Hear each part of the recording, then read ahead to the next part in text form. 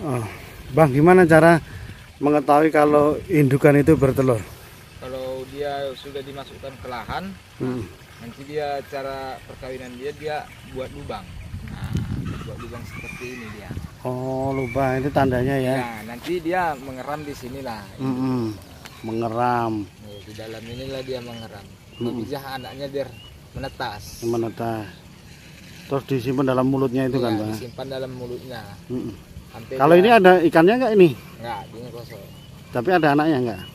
Anaknya ini samping-sampingnya enggak nampak kalau dia apa ya. Iya. Kecil kali halus. Oh, pokoknya ini tempat ber- bertelurnya gini ya Iya. cirinya. Oh, telur iya, dia di lubang. Ini anak-anak. Iya. Nah, ini. Wah, anak-anaknya nampak itu. Iya, iya, iya. Nah, Oh. anaknya. Mm-mm. Itulah sudah dilepaskan induknya.